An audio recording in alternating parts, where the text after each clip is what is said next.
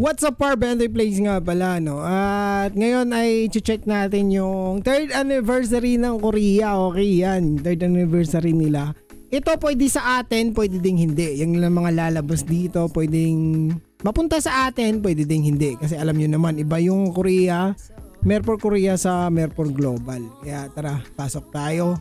Yan ito yung bagong patch nila sa November 9 yan, meron silang 1, 2, 3, 4 patch. May bagong spirit, equi- uh, equipment, appearance, panyan, outfit, outfit, tapos clan challenge, tapos traditional. Ewan ko, ano to, di pa natin alam. Yan, traditional. Sa kanila lang ate to or baka meron din sa atin to. Okay, basta mapunta na tayo agad sa dito sa Clan Challenge. Ito yung bagong boss sa Clan Challenge. Yan. Maganda. Bagong-bago talaga siya. Wala to sa atin eh. Yan. Hindi napagod ng kuan si Merfor Korea. Yan. Bagong clan challenge yan. Yan, meron siyang pag magturan, eh 2.8 na gold yung kailangan tapos dark steel ata to or energy ganun. Ganun, ganun yung gagana, no? Okay, ito naman yung costume. Yan. So, sa warrior, military type tayo ngayon sa Sork. Tawis, maganda sa Tawis oh, no? Maganda din naman sa Sork 60. Tawis, tapos Lancer, tapos Arba, tsaka Darkest. Maganda naman lahat. Ganda.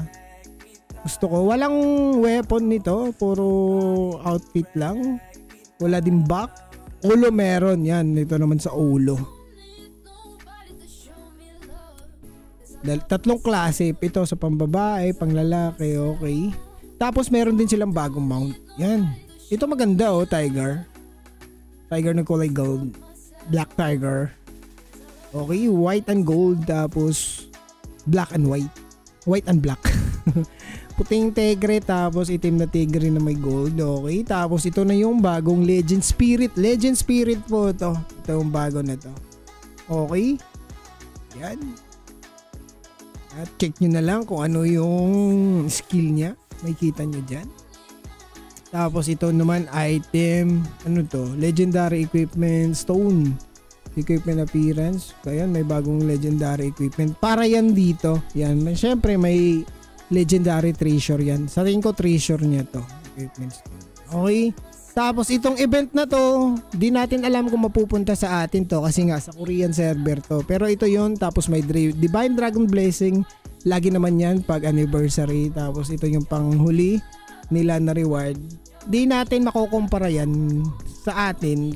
Posibleng darating yan sa atin. Posible ding hindi. Kasi magkaiba nga yung Merver Korea sa Merver Philippines. Pero kadalasan, ito napupunta talaga to. Matik yan. Ito din Baka ito, pera-pera. Alam niyo naman si Merpor. Tapos, yung mga set, pwede din yan sa atin. Pero sa tingin ko sa anniversary, Iwan ko lang kung ilalapag nila agad ito sa atin. Kasi ba anniversary nila to eh. Baka iba din sa atin. Pero malay natin. Pero ito mga clan challenge lalapag yan sa atin. Okay?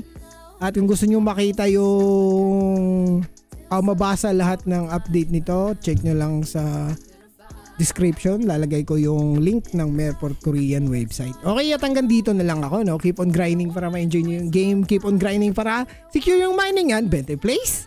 Out!